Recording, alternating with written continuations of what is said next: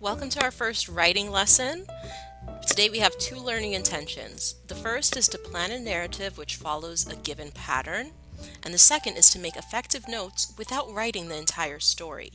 So basically, we're just getting our ideas together to write a story based kind of on the outline of another story that we've read.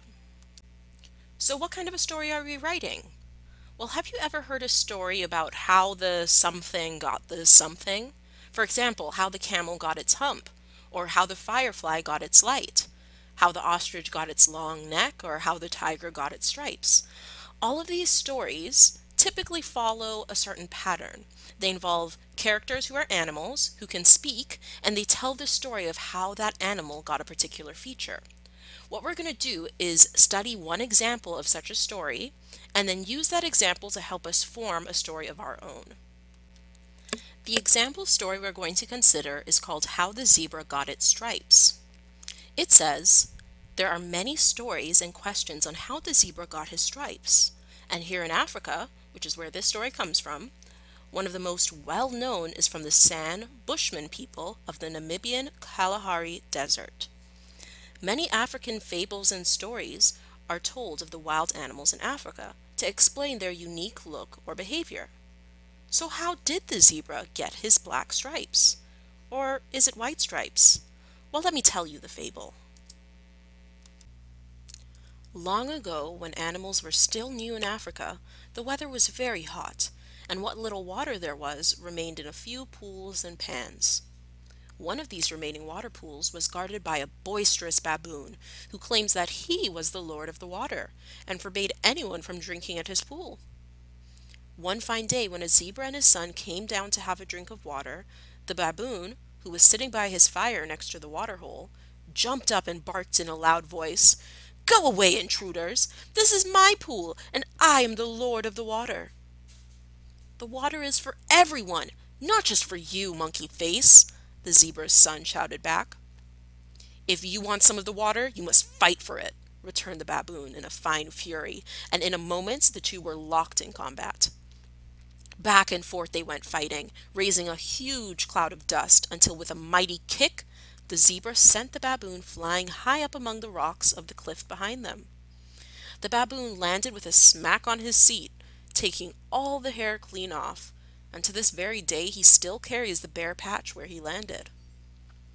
The tired and bruised young zebra, not looking where he was going, staggered back through the baboon's fire, which scorched him leaving black burn stripes across his white fur. The shock of being burned sent the zebra galloping away to the savannah plains, where he has stayed ever since.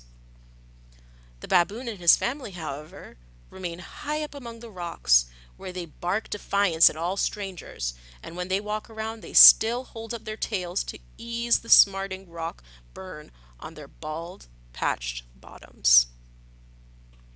Now, what I really love about this story is that it's so silly, but the author has clearly taken the time to think through what events would be necessary to explain the appearance of the two characters.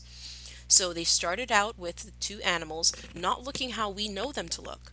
And then they created a scenario which would explain why the zebra has stripes and also a little extra why the baboon has a bald but if you don't know what a baboon is, go ahead and look it up. They're quite funny looking monkeys.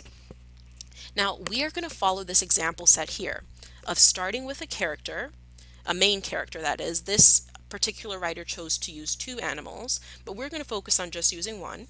We're going to start with that character looking a way that they don't currently look.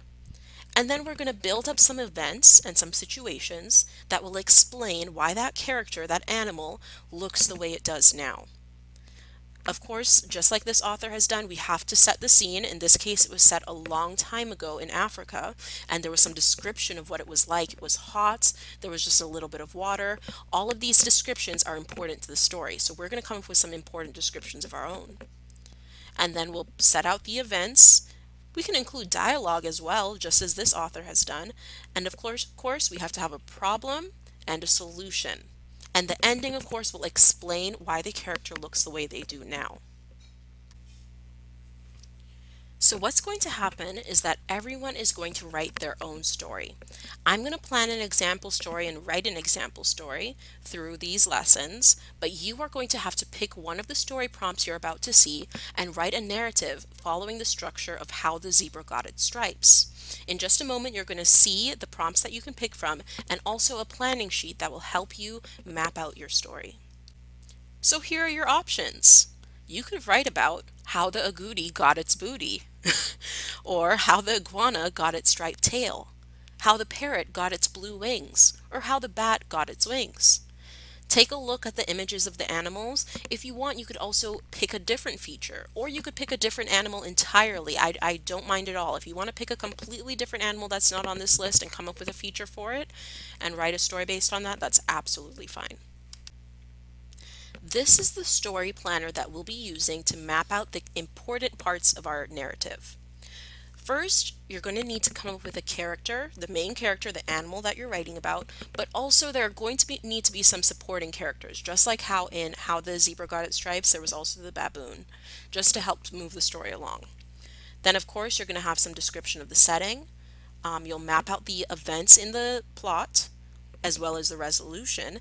And finally at the bottom, I want you to think of some special descriptions to include. Specifically, I want you to think if there are any similes that you can include in your writing. Using similes is a great way to enhance your description. And it kind of, I don't know, it just really spices up your writing. So that's our like extra goal today to include some similes. Now I'm going to show you how I'm going to use this planner to plan out my story. So here's my story planner. I decided to go with the prompt, how the agouti got its booty, but of course I had to add in the word big because I thought that would be a bit more funny. Now, you all know what an agouti looks like. They have that really round bottom, but the front of them is skinny. So I decided to do a story about how it got that shape. Now, the characters in my story are Gogo the agouti and Mr. Joe.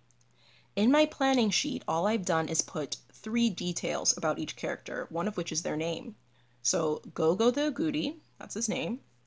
He's mischievous, and he's short and slim. So I gave his name, a character trait that describes his personality, and then a short physical description. That's all I really need in my planning sheet. When I start to write my story, I'll build more detail. My other important character is Mr. Joe. He owns a property with lots of mango trees, and he hates Gogo. Those are the most important details about him for right now. Everything else I'll add in the actual story when I'm writing it but these details just help me plant the broad picture of my story. Then I moved on to the setting. I said I want my story to take place on Mr. Joe's property a long time ago. It's going to have lots of trees and it will have the sweet smell of juicy mangoes. So those are just some of the details I decided I wanted to include. Something else I wanted to include a really good description, so I drew an arrow down to my descriptions to include box, is that the mango trees stood tall and majestic like silent giants. This is a line that I'm going to copy word for word from my planning sheet into my story. Everything else is just a rough outline. It's not really going to end up in the story the way it looks right now, except for this line. I really want to use this because I came up with this simile and thought it would be really nice to include. I want you guys to do the same when you're doing your planning sheet as well. Come up with at least one simile that you really want to include. It could be a description of the setting or of one of the characters. Now, after the setting, I moved on to the problem or the, the plot, so how the story, the events of the story, and um, what takes place. It starts with Gogo stealing mangoes from Mr. Joe. Now, the reason Gogo is called Gogo is because whenever he steals mangoes from Mr. Joe, other animals will warn him when Mr. Joe is coming. So they'll go, go, go, and tell him to run away. So he's gotten so used to hearing that that that's just the name he goes by, Go Go. Now, Mr. Joe gets tired of Go Go stealing all his mangoes, so he sets a trap. That's the next big event. Then Go Go gets stuck in a fence when trying to escape.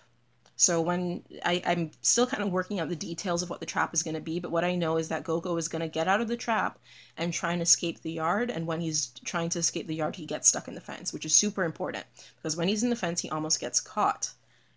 And the resolution, which is going to be how he gets his big booty, Gogo squeezes out just in time, but going through the fence changed the shape of his body. So I want it to be that as he squeezed through, it made the front of him even skinnier.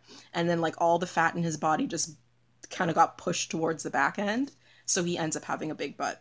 And then maybe the the fence will pop, and that's how all all of his weight got pushed towards his back end. And then finally, for the resolution, he only steals fruit in the early morning now because he doesn't want to Mr. Joe to ever catch him again. So he's really a lot more careful. He learned his lesson. Well, not really. He's he's still stealing, but he's being a lot more sneaky about it. And I wanted it to be kind of true to life because usually I see Agoutis in the early morning or in the evening just before the sun goes down.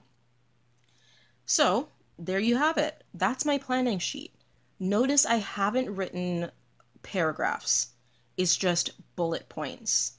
I've put in a few sentences here and there, but they're not very long sentences. They're not going to be copied straight into my story. They are just serve as a reminder to me of what I want to include.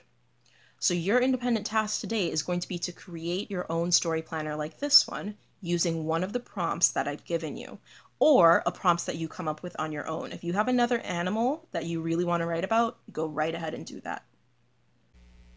Alrighty, before you go, I want you to take a quick look at the success criteria for planning your story because this is what I'm really going to be using to grade your work. All you're doing today and turning in tomorrow is the planning sheet. Please do not go and write your entire story. That will be our next lesson. For today, you're just doing the planning sheet. That's why this says success criteria for planning a how the blank got its blank story. Pause the video here and read through that success criteria. I'm not going to read it to you. You have eyes in your face. You can do it yourself. And I made it big enough that you can read it on your own. Go through it, and then when you're done planning your work, check against the success criteria and think to yourself, did I get a smiley face for this, or would I get a sad face? Did I do a, a good enough job, or is there room for me to improve? When you're satisfied with it and your parents have checked it over, you're going to take a picture of it and send it to me. I will give you some feedback once I've had the chance to read through it.